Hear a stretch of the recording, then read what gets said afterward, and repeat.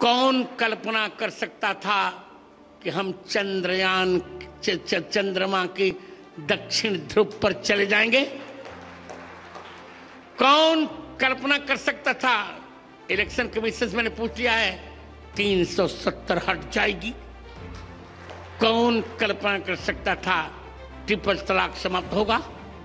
कौन कल्पना कर सकता था कि महिला आरक्षण विधेयक पास होगा। जगत गुरु राम भद्राचार्य जी की ये बात सुन रहे हैं ना?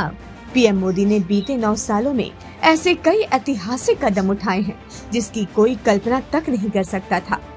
आपको बता दें कि पीएम नरेंद्र मोदी जी श्री राम की तपोभूमि धर्म नगरी चित्रकूट में सदगुरु सेवा संघ ट्रस्ट की स्थापना करने वाले स्वर्गीय अरविंद भाई मफत लाल के जन्म शताब्दी कार्यक्रम में शामिल हुए। पीएम मोदी ने उनकी सौवीं जन्म शताब्दी पर डाक टिकट जारी किया। साथ ही अरविंद भाई मफतलाल की समाधि स्थल पर श्रद्धा सुमन अर्पित कर जानकी कुंड चिकित्सालय के नए विंग का लोकार्पण भी किया।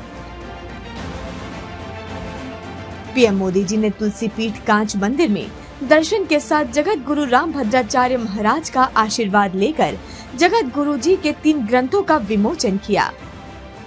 वहीं जगत गुरु राम भद्राचार्य जी ने मोदी जी और भगवान श्री कृष्ण को अपना परम मित्र बताया। मेरे दो मित्र हैं।